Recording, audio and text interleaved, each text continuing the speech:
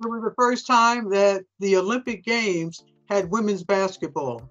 Uh, they had never had women playing basketball at the Olympic Games, and I was on the first team for USA and competed against five other countries, including, excuse me, including the host country, uh, Montreal, Canada.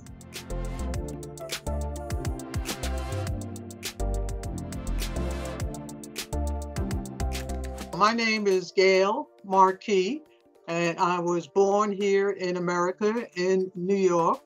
And I grew up here with my mother, father, and my four brothers and sisters.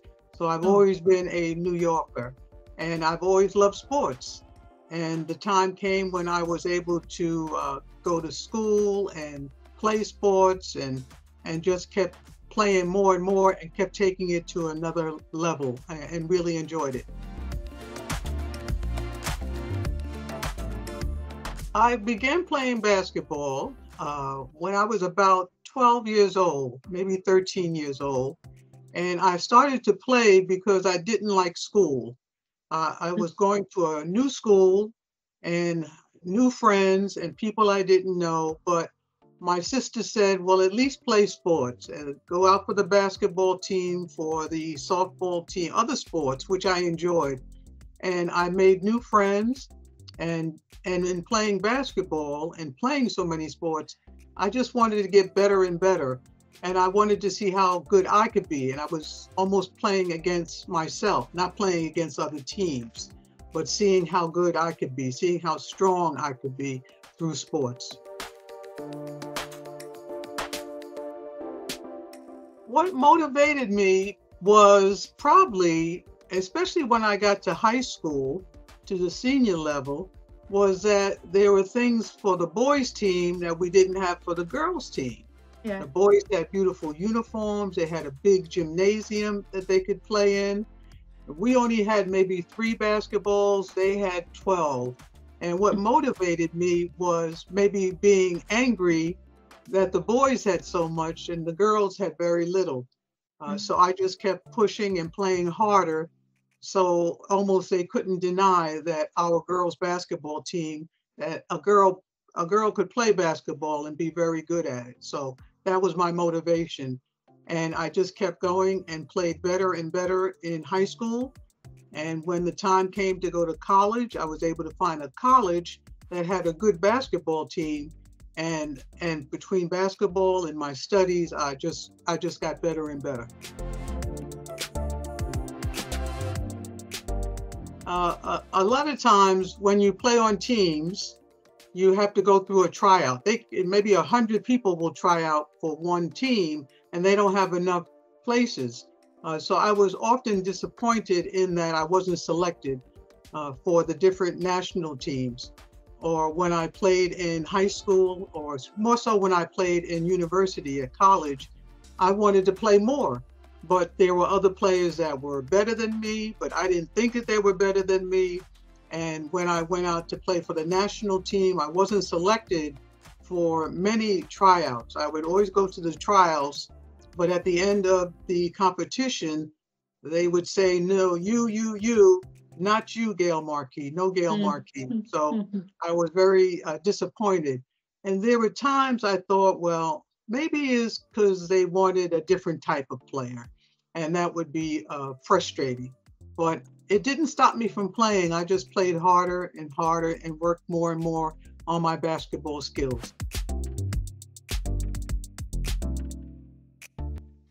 Oh, it, it it meant so so much. Uh, first of all, I was very proud to represent my family, my mother and father, who had worked very hard to put us all through college and give us a, a good home.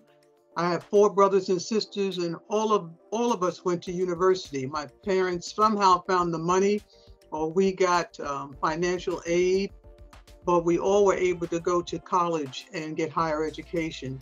And then I was very proud of my city and country, New York City, where I grew up, and very proud because we didn't have much money. Uh, and they didn't have much that was given to, I'm sorry, and much was not given to the the uh, girls and women's teams. And then finally, I was very proud finally to represent my country, United States of America. Um, I, I tell people I did not serve in the military, but having been uh, an Olympic champion and having traveled to places like France and, and Senegal and other foreign countries, I feel like I'm a diplomat because I'm representing not only Gail, but I'm representing the United States of America. And I think about my Olympic experience every single day. Uh, people get married, or people grow up, or they have things that happen to them, and you might think of, of, of those experiences every single day of your life. If, if you're a parent and you have a child, you probably think of that child every single day of your life. Well, I think of my Olympic experience every single day of my life. Not a day mm. goes by that mm. I don't think of the accomplishment, of the medal, but really what it took to get there. Mm. How I had to work so hard to finally make the USA national team, and it just happened to be the Olympic team. I made the right. I watch the Olympics. I like to see all the sports and all the athletes. Of course, I want to see the USA team, but I love seeing other sports that I don't know a lot about or other athletes I don't know a lot about. So um, I just enjoy the Olympics so much because I still believe, uh, more so than our big countries that we all live in and the politics and everything. I just think that sports brings everyone together. I think sports is a, a great way to discover yourself, to meet other people, to uh, just challenge yourself. Uh, so I've always loved sports. And with the Olympic Games, again, I look forward to seeing athletes from all different countries and all different sports. So, of course, I will be watching. Oh, yes. I, I, I almost expect the women's Olympic basketball team to bring home another gold medal. Uh, they're very talented, they're very strong. And the 12 ladies that represent the United States, if if they didn't pick the first 12, there would be another group of 12. Uh, basketball is very popular uh, on women's basketball teams in universities and professional. And the girls and women work very, very hard. So I expect them to win another gold medal. And I expect to see different people winning silver and bronze from who won last year. Basketball now, women's basketball, women's sports, from football to to uh, to athletics, to track and field, to basketball. Women are really getting stronger, much more competitive, and they are great to watch. Oh, it's it's very important, especially when you're young, to have a physical activity. It could be walking, it could be running, it could be swimming, uh, but it needs to be something. And it's important because I think first it challenges you and your body. And if you're young, you have to remember your muscles your bones are just growing. They, they, keep growing until you're almost 21 years old. So you need to strengthen them through exercise, through walking, some type of physical activity. If you can do it every day, great. If you can do it three times a week, great. If you can do it once a week, great. But uh, physical activity helps your body get stronger, helps you grow, and it also builds up your immune system. So you can get stronger and fight off a cold or flu or any other kind of um, influence that might get you sick and pull you down. So it really helps to get your body stronger. It's very important that you play have some type of activity and you play. And then as you get older, many of the sports that you did when you were younger, you can still do when you're a little bit older.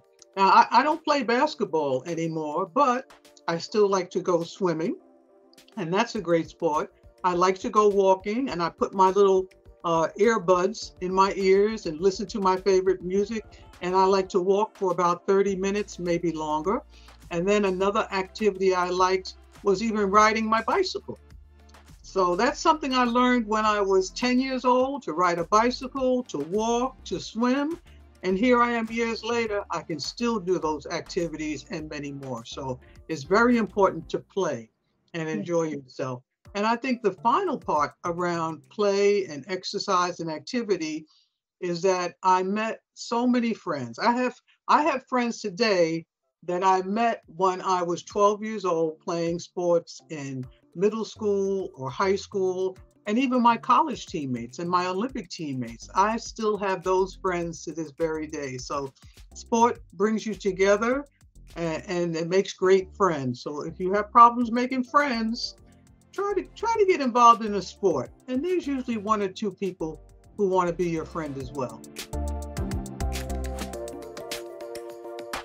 You can, super, if you can play en jeu something pour 30 minutes, presque en plus, uh, each day, each journey, or autre journey, but you must play. You must be active. Try to do something. Even if you have to sit in your chair and, I don't know, just do your exercises in your chair, but you must be active. So I challenge you to do it three times a week, not just once or twice, three times a week, 15 minutes a day. Try that. And then if you can, try to do it 30 minutes a day, 30 minutes en. And if you can, you do it more. And I challenge you to also make a friend. Be a friend. Be a friend and make a friend. Meet someone, even if you have to do it through the video, and still make a friend and be a friend. Reach out to someone who might be lonely or you don't get to talk to them. Talk to them. So that's my challenge. See if you can exercise three times a week for at least 15 minutes every week and make a friend, be a friend.